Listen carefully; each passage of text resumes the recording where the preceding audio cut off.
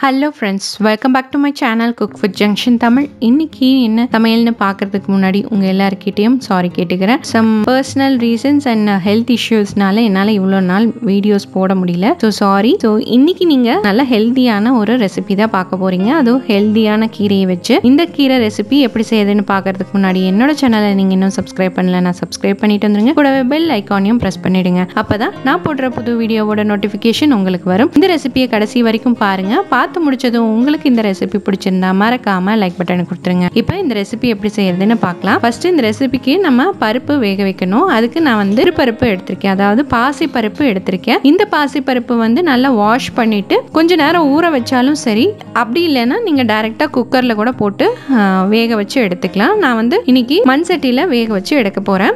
இதுக்கு பதிலாக நீங்க துவரம் பருப்பு கூட எடுத்துக்கலாம். சிறுபருப்பு யூஸ் பண்ணும்போது உங்களுக்கு டேஸ்ட் நல்லா இருக்கும். அதனால இந்த பருப்பை ஆட் பண்ணியிருக்கேன். இப்போ இது நல்லா வாஷ் பண்ணிட்டு வேகறதுக்கு அளவா தண்ணி சேர்த்துட்டு நம்ம அடுப்பில் வச்சு மஞ்சத்தூள் சேர்த்து வேக வச்சு எடுத்துக்கலாங்க. ஃபஸ்ட்டு இந்த பருப்பு வந்து நல்லா வெந்துருச்சுன்னா அதுக்கப்புறமா ஈஸியாக சீக்கிரமா கீரையை சேர்த்து தாளிச்சு விட்டுறலாம். இப்போ தண்ணி சேர்த்து இந்த பருப்பு நல்லா வேகட்டும். அது வரைக்கும் நம்ம மற்ற இன்கிரீடியன்ஸ் எல்லாம் ரெடி பண்ணிக்கலாம். கீரையை சுத்தம் பண்ணி வச்சிருக்கேங்க. சக்கரவர்த்தி கீரை பார்த்தீங்கன்னா இந்த மாதிரி தான் இருக்கும். இந்த மாதிரி நீல நீளமா இருக்குங்க. இது வந்து சீக்கிரமா உங்களுக்கு கடைகளில் எங்கேயும் கிடைக்காது. அப்படி கிடைச்சதுன்னா கண்டிப்பாக மிஸ் பண்ணாமல் நீங்கள் நீங்கள் வாங்கி செய்யுங்க. இதில் வந்து அதிகமான மருத்துவ குணங்கள் இருக்குது ரத்த சோகையை குணப்படுத்துறதுக்கான மருத்துவ குணங்கள் இதில் இருக்குது நிறைய அயன் கண்டென்ட் இருக்கிறதுனால ஹீமோக்ளோபின் லெவல் வந்து அதிகமாகுங்க. உடலில் இருக்கிற கழிவுகளை வெளியேற்றுறதுக்கும் மலைச்சிக்கல் ப்ராப்ளம் ஏதாவது இருந்ததுன்னா அதை வந்து கிளியர் பண்ணுங்க. அதே சமயத்தில் மூட்டு வலி இருந்ததுன்னா அவங்களுக்கு இது அதிகமாக எடுக்கும்போது இது வந்து குணப்படுத்தும். ஸோ இந்த மாதிரி நிறைய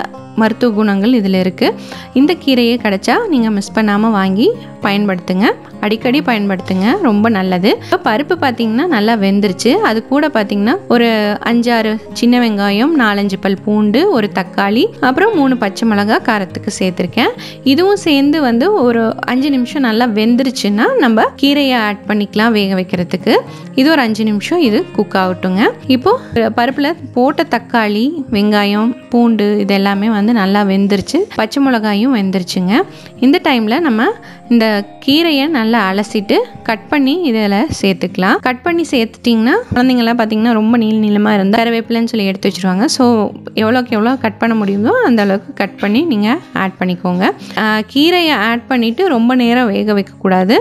ஸோ இந்த கீரையை நல்லா ஆட் பண்ணி ரெண்டு கொதி வந்துச்சுன்னா போதும். நம்ம இந்த கீரையோட பருப்பையும் சேர்த்து இறக்கிடலாம். இந்த கீரையை போட்டு ஒரு கொதி வர வரைக்கும் நம்ம வெயிட் பண்ணலாங்க. இப்போ கீரை நல்லா கொதிச்சு வருதுங்க. இது கூட நம்ம தேவையான அளவு உப்பு சேர்த்து சேர்த்துக்கலாம். உப்பு சேர்த்துட்டு நல்லா கலந்து விட்டுட்டு ஒரே ஒரு நிமிஷம் மட்டும் நம்ம ஸ்டவ் ஆன் பண்ணி வச்சுட்டு நம்ம இறக்கிடலாம். இப்போ இந்த கீரை எல்லாமே நல்லா வெந்து ரெடி ஆயிடுச்சு. இந்த ஸ்டேஜில் நம்ம இறக்கி வச்சுட்டு இதுக்கு ஒரு தாளிப்பு ரெடி பண்ணணுங்க. இவ்வளோதான் நம்ம கீரை வேக வச்சாச்சு. இது இப்படியே கூட சேர்த்து நம்ம சாப்பிடலாம். அப்படி இல்லைன்னா தாளிப்பு சேர்க்கும் போது இன்னுமே இந்த கீரைக்கு வந்து டேஸ்ட் அதிகமாக இருக்கும். தாளிக்கிறதுக்கு முன்னாடி நம்ம இந்த கீரையை நல்லா இந்த மாதிரி மத்து வச்சு கடைஞ்சிக்கோங்க. இந்த மத்து வச்சு இந்த மாதிரி கடையும் போது உங்களுக்கு பச்சை மிளகாய் வெங்காயம் பூண்டு எல்லாம் மசிஞ்சு வரும்போது டேஸ்ட் நல்லா இருக்கும் இப்போ இந்த கீரைக்கு தாளிப்பு ரெடி பண்ணிக்கலாங்க. தாளிப்பு ரெடி பண்ணுறதுக்கு ஒரு கடாயில் ஒன்றரை டேபிள் ஸ்பூன் அளவுக்கு எண்ணெய் சேர்த்துட்டு கால் டீஸ்பூன் கடுகு சேர்த்து நல்லா பொரிய விட்டுக்கோங்க. இது கூட வந்து சீரகம் கொஞ்சமாக சேர்த்துக்கோங்க. ஒரு கால் டீஸ்பூன் போல் சீரகம் சேர்த்துக்கோங்க.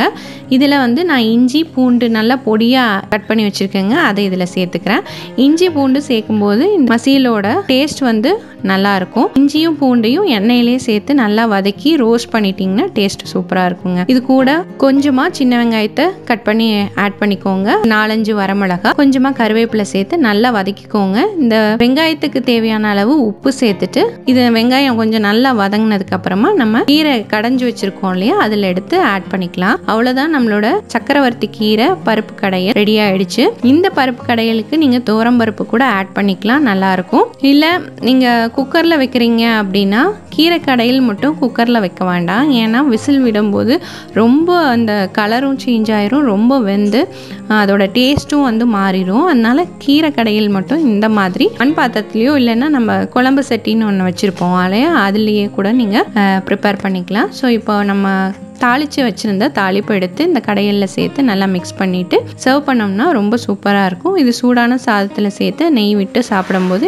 இன்னும் டேஸ்ட் அதிகமாக இருக்கும். ஸோ இந்த மாதிரி ஹெல்த்தியான கீரை கடையல் இன்றைக்கி எப்படி செய்கிறதுன்னு நீங்களும் பார்த்தீங்க இதே மாதிரி நீங்களும் உங்கள் வீட்டில் செஞ்சு பாருங்கள் இன்றைக்கி செஞ்சு காமிச்ச இந்த கீரை கடையல் உங்கள் எல்லாருக்கும் பிடிச்சிருக்கும்னு நினைக்கிறேன். பிடிச்சிருந்தா லைக் பண்ணுங்கள் உங்கள் ஃப்ரெண்ட்ஸ் அண்ட் ஃபேமிலிக்கும் ஷேர் பண்ணுங்க. மறக்காம கமெண்ட் பண்ணுங்க. என்னோட சேனலை நீங்கள் இன்னும் சப்ஸ்கிரைப் பண்ணாமல் பார்த்துட்ருக்கீங்கன்னா சப்ஸ்கிரைப் பண்ணிட்டு வந்துடுங்க மறுபடியும் இன்னொரு இன்ட்ரெஸ்டிங்கான ரெசிபி வீடியோவோட நான் உங்களை மீட் பண்ணுறேன் அது வரைக்கும் பாய்